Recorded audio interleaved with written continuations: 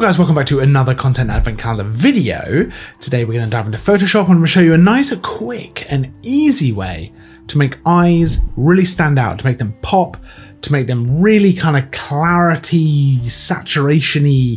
They look good, is what I'm trying to say. Let's dive into Photoshop. I've got this photo open here. I've just done a very, very slight edit on it. So I've actually just darkened the edges around our subject here, but I'm gonna show you how we can make her eyes really, really pop. Now, of course, I've actually already edited this photo in the past and I've added just a bit of exposure just to her eyes to make them a little bit brighter so they're the brightest part of the image. That's absolutely a great place to start and that's a great way to get eyes to pop initially, but we're going to do something different to just to make them extra poppy, extra kind of colory, and you can actually add a lot of color here as well, depending on the kind of look you want to go to. First things first, we're going to go ahead and add a new layer. We're going to take the paintbrush, we're going to take white as our color, we're going to zoom in. I'm going to hold Alt, scroll in with my mouse wheel, and with a nice soft brush, I've actually got flow at 100.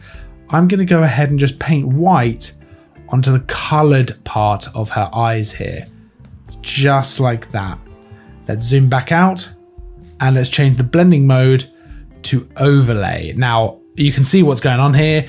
That has made a huge difference to our eyes. Obviously it's too much. So we just bring the opacity down probably to something like 30%. So let's turn that off and back on. Look at how much of a difference that makes. Look at how much that makes her eyes pop. Now, that might still be too much for you. You can bring the opacity down to whatever kind of floats your boat, 20%. Looks pretty good still that's a great place to start, and that's going to make her eyes pop.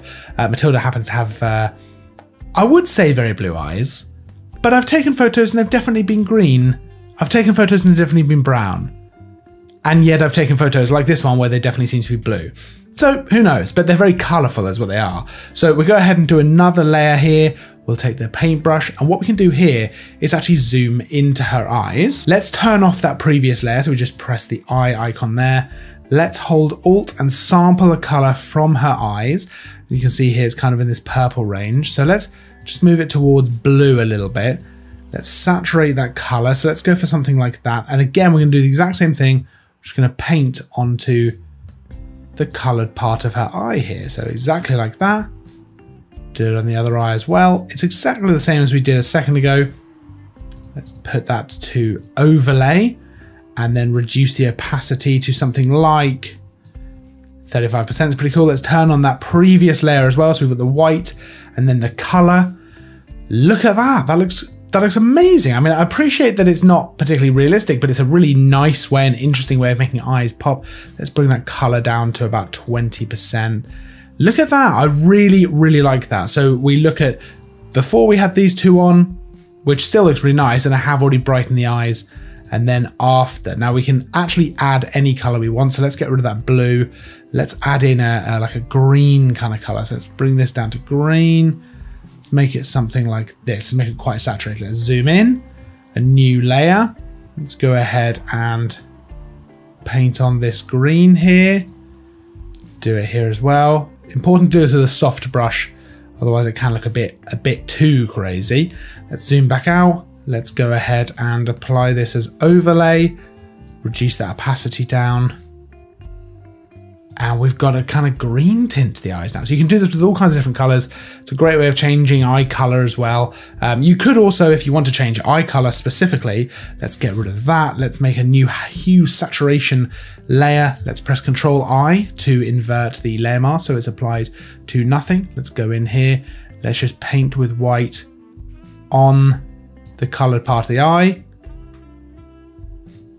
That means we now have this hue saturation layer only applying to this colour part. We can have boost the saturation of the eyes if we want to.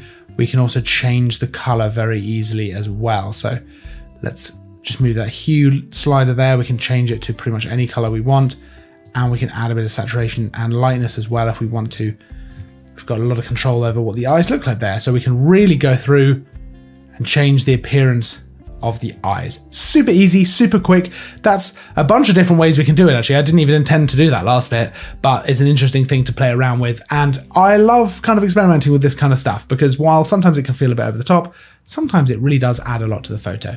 So there you go, nice, quick and easy thing. Don't forget to like and subscribe if you enjoy the video. New videos every day through to Christmas Eve. I'll see you tomorrow. And as always, thanks for watching.